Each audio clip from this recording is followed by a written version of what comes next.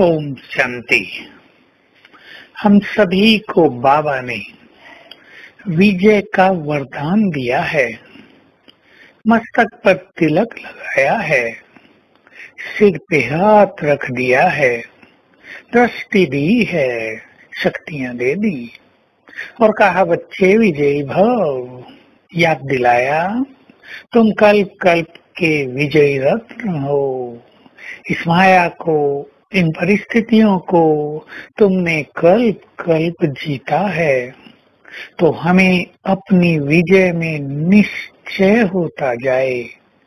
जितना निश्चय होता जाएगा विजय में, विजय उतनी ही समीप आती जाएगी। और यदि हमारे मन में अपनी विजय के प्रति संशय होगा या अपनी सफलता के प्रति संशय होगा तो उतनी ही ये चीज़ें दूर जाएगी। निश्चय बहुत बड़ी चीज़ है। स्वयं में निश्चय अपनी सफलताओं में निश्चय, अपने श्रेष्ठ भाग्य में निश्चय, अपने श्रेष्ठ निर्णय में निश्चय, अपने बारे में। ये निश्चय आत्मविश्वास को बढ़ाएगा। बाबा में निश्चय, उसकी हर बात में निश्चय। जो उसने कह दिया वो संपूर्ण सत्य है। अगर हमारी वो समझ में नहीं आ रहा है तो अलग बात है। समझ ले उसमें कुछ गुह्य रहस्य भरा हुआ है, जिसे आत्माएँ नहीं समझ पा रही हैं, पर भगवान का हर कथन परम सत्य है। निश्चय। निश्चय हो कि वो हज़ार भुजाओं सहित हमारे साथ है।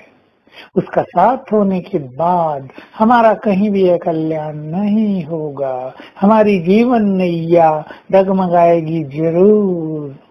डूबेगी नहीं। हमें पूर्ण विश्वास हो। भगवान हमारा साथी है। हमें उनके इन शब्दों में विश्वास हो। मैं हज़ार बुझाओं सहित तुम्हारे साथ हूँ। जब भी तुम मुझे याद करोगे, मैं दौड़ा चला आऊँगा। मैं हूँ ही तुम्हारे लिए।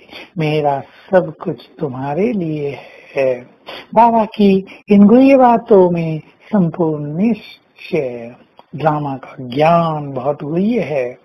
उसमें संपूर्ण निश्चय, ड्रामा की बहुत सारी पॉइंट्स हम लिख लें और अपने को जरा ध्यान से देखें।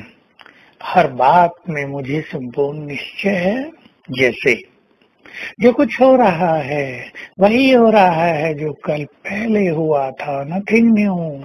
जो हो रहा है, वही सत्य है और वही होना चाहिए। मेरा भाग्य बहुत श्रेष्ठ है मेरा पार्ट हीरो है। इन सब में निश्चय है। साथ में इस स्थापना के कार्य में निश्चय भगवान स्थापना का कार्य करा रहे हैं। विनाश भी इस कलयुग सृष्टि का होना ही है, आज नहीं तो कल। आखिर इस कांटों के जंगल को आग तो लगनी है, देरी केवल हम सबकी श्रेष्ठ स्थिति बनने की है। उसकी स्थापना के कार्य में, स्थापना करने के तरीके में विश्वास और निश्चय उसके संपूर्ण पाठ में निश्चय, अव्यक्त पाठ जैसा चल रहा है, उसकी गुह्यता को समझते हुए उसमें निश्चय और फिर इस सुंदर परिवार में निश्चय, एक दो में भी निश्चय, इस तरह। हम संपूर्ण निश्चय के द्वारा विजय की और तेज़ी से आगे बढ़ते रहें, विजय को अपना जीवन बना लें, अपना लक्ष्य बना लें और याद रखें, जो इस समय विजय रत्न बनेंगे, जन्म जन्म उनकी विजय होगी, माया पर भी विजय। तो हमें माया को भी जीतना है, कर्मेंद्रियों को भी जीतना है, अपने मन बुद्धि के व्यर्थ विचारों पर भी विजय प्राप्त करनी है। तो आइए आज अपने ऊपर विजय का ध्वज लहराएँ।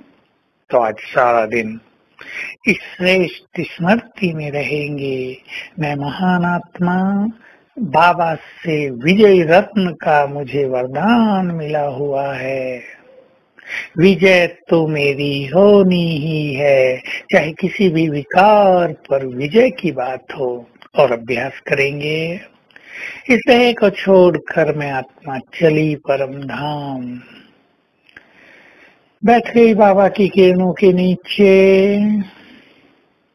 स्वयं में शक्ति भरकर वापिस आ गई देह में और मुझे चार और ये शक्तियाँ फैलने लगी जग कल्याण के लिए।